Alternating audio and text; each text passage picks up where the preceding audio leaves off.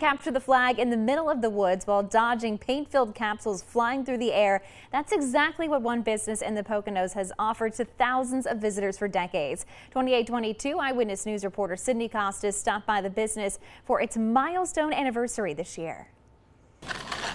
Masked up and on the move, dodging grenades, and of course, paint-filled capsules flying through the air. Paintball is much more than just a sport here at Skirmish, as it's celebrating its 40th anniversary in Albrightsville. My dad, when he founded it, there's no way he thought paintball would last 40 years. We were one of the first fields in the entire industry, uh, and to still be going strong and to now be the world's largest field, it's a really cool thing. Skirmish spans over 750 acres, offering 50 different map locations players can get lost in, like the Tippmann Castle, standing at three stories tall. When I try to describe paintball, I say it's the single best way to relieve stress and anywhere in the world. There is nothing quite like running out in the woods, going back to kind of that primal instincts of hunter be hunted type thing. Showing me the ropes of the paintball gun, Fogel explains safety precautions like the barrel plug, measures they use to keep everyone playing safe.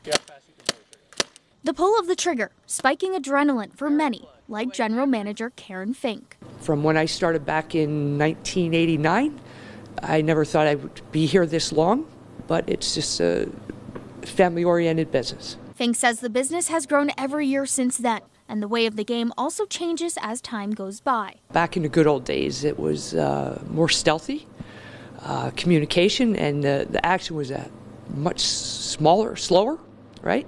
compared to today, where it's uh, fast and fury and accuracy by volume. No matter how you're loading up, make sure to hit the target you're aiming for, or you might just find yourself getting hit. In Albrightsville, Sydney Costas, 2822, Eyewitness News. Skirmish is holding a 40th paintball anniversary celebration tomorrow with free paint, beer, and cake. You can head to our website, pahomepage.com, for more information on that event. And